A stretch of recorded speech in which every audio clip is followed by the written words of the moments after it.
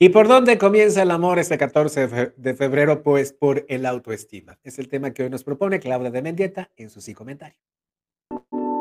Psicomentario con Claudia de Mendieta.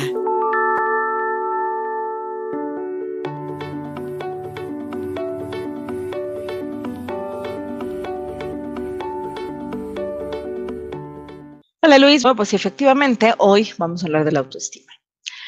Que pues la, autoestima es una fortaleza psicológica, mm, yo considero que de las más importantes que, que, que, tenemos que tener, pero algunos factores como incluso el ambiente o las personas alrededor pueden desfavorecerla o pueden minarla.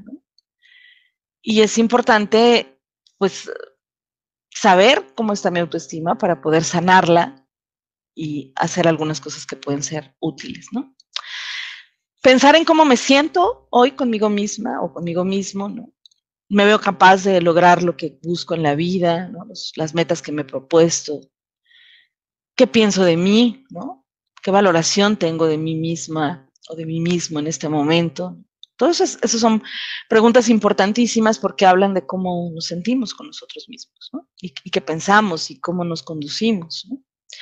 Lo que pensamos es lo que vamos a hacer de alguna manera, ¿no? Descartes, Descartes el filósofo Descartes, decía, pienso, luego existo, ¿no? Y entonces lo que pienso de alguna manera va a determinar lo que voy haciendo, lo que voy viviendo, cómo voy encauzando mi vida. ¿no? es un eje conductor de alguna manera, la, autoestima. Y bien, entonces la autoestima es en ese sentido como un aliento vital, ¿no? Que no solo nos permite sentirnos valiosos, sino también eh, autoeficaces, ¿no? La autoeficacia es, entre otras cosas, la sensación y pensamiento de, eh, de la capacidad de alcanzar mis metas, de lograr lo que quiero, de ser más directivo, ¿no? Eh, esta dimensión psicológica, la autoestima, también es frágil y variable. No, es la misma en un momento que en otro, porque como decía al principio, a veces se está relacionando con el medio ambiente, con lo que ocurre afuera, con lo que hacen otras personas, con lo que vivo eh, en un determinado momento. Entonces, bueno, la autoestima casi siempre está condicionada por todo lo que nos rodean, las personas, los eventos, las situaciones.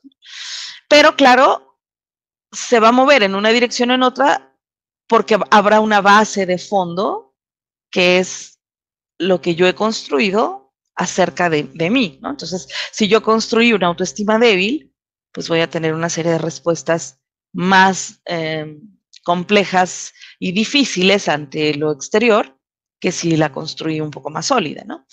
Ah, pongo un ejemplo breve. La, mi autoestima puede bajar si termino una relación de pareja porque me fueron infieles o infiel. Y puede bajar mi autoestima, pero si yo de base desde mi infancia traigo una, infancia, una, autoestima sólida o más o menos sólida, va a tener un impacto menor que si mi autoestima es baja o es frágil. Entonces, bueno, crecer en un entorno familiar en donde me desaprobaron, me nulificaron o no me validaron, pues es terrible para la identidad y la autoimagen. Y entonces tener una pareja abusiva o sufrir acoso, bullying, ¿no? Eh, en la escuela, pues va a ser más difícil manejarlo, ¿no? Porque va a atentar justo contra la evaluación que hacemos de nosotros mismos.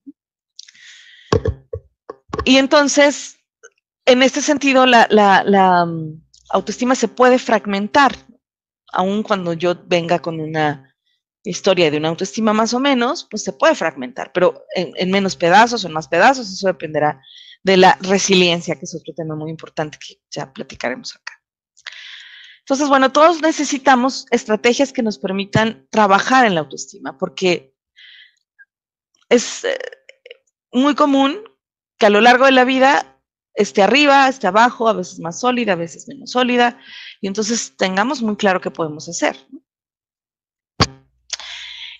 Como tener una visión más positiva sobre nosotros mismos y construir alrededor de eso más positivo y tener esas herramientas. Entonces, primero creo que es muy importante tratar de ubicar cómo está nuestra autoestima, ¿no? ¿Cuál es el origen de nuestra autoestima? Nuestras experiencias tempranas, nuestras creencias centrales más dolorosas, ¿no? Como no valgo para nada, soy torpe, eh, nadie me quiere, nadie me aceptará, nunca soy inútil, ¿no? No sé. Todas estas experiencias tempranas pues van edificando la visión que tenemos de nosotros mismos.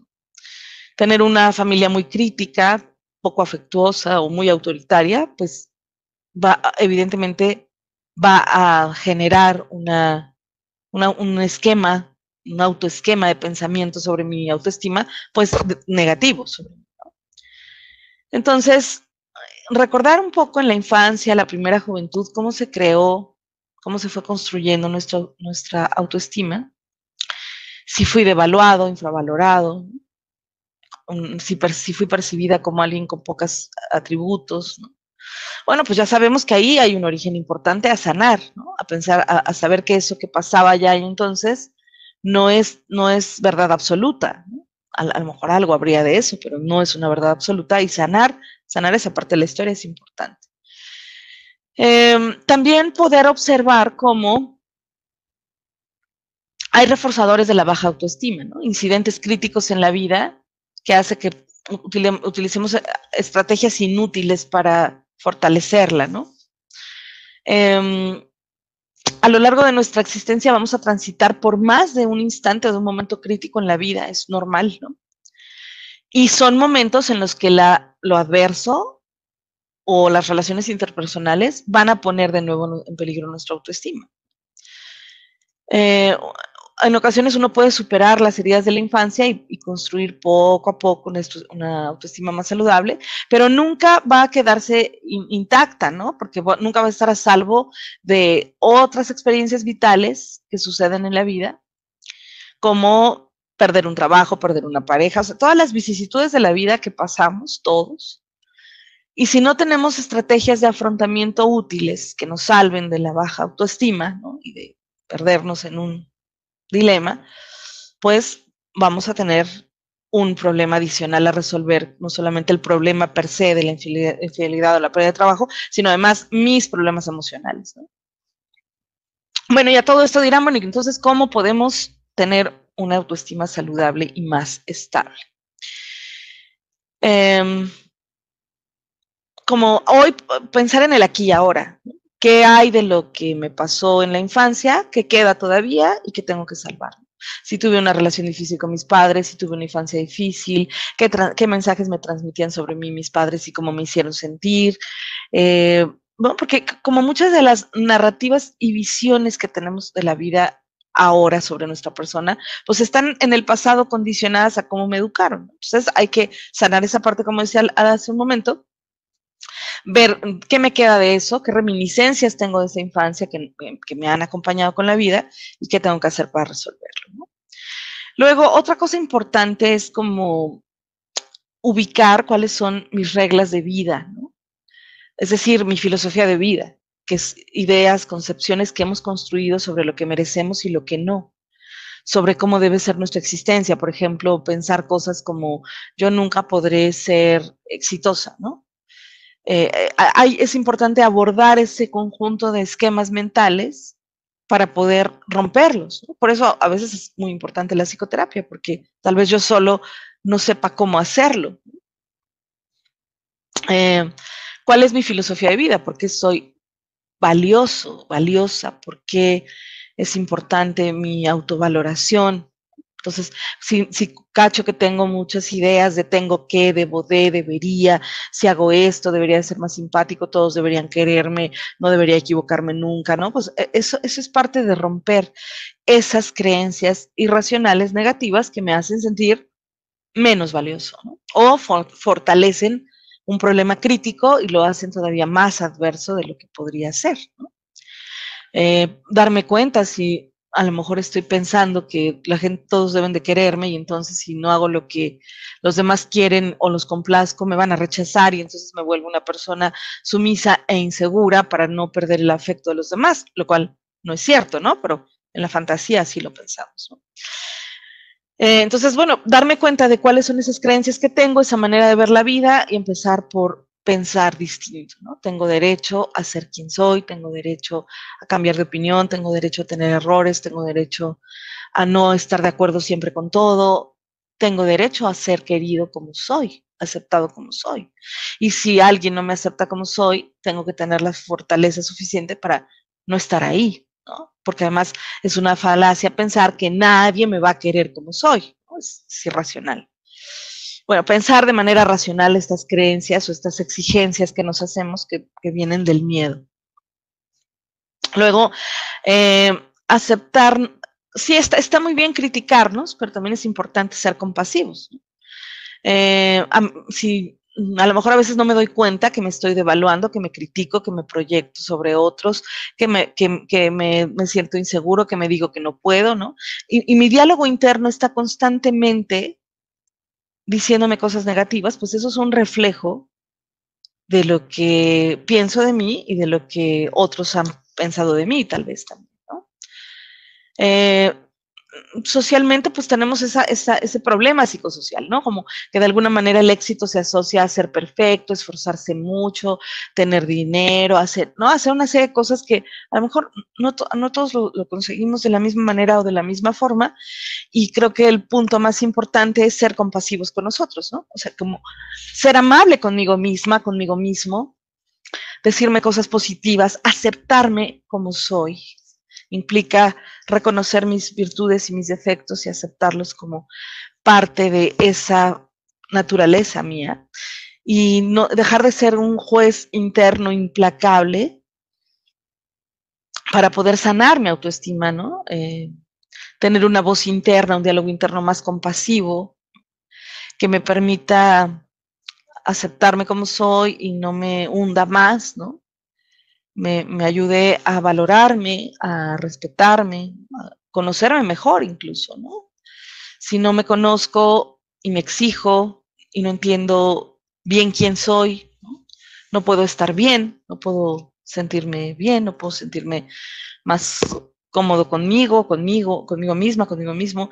Y entonces la aceptación, la autoaceptación va a modificar incluso mi filosofía de vida y mis reglas de cómo quiero vivir, ¿no?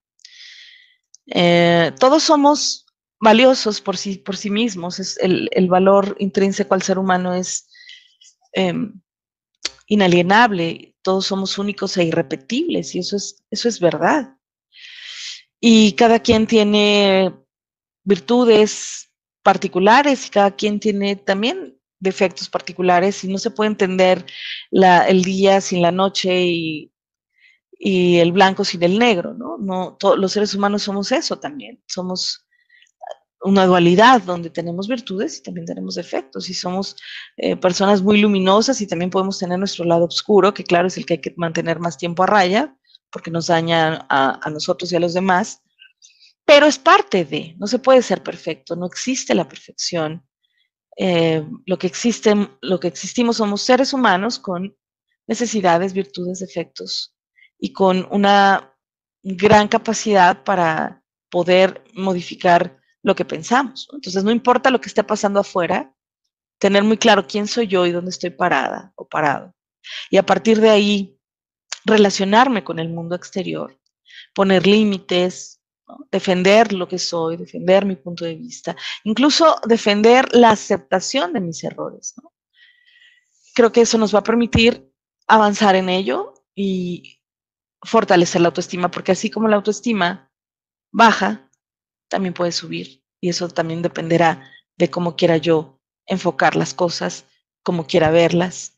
Somos lo que pensamos en un buen sentido, em, en una buena parte.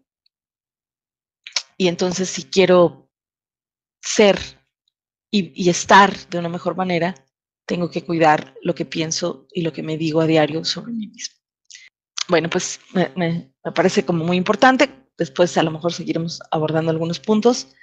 Gracias. Nos vemos la próxima semana. Síguenos en Facebook y en Twitter. Estamos contigo, Puebla.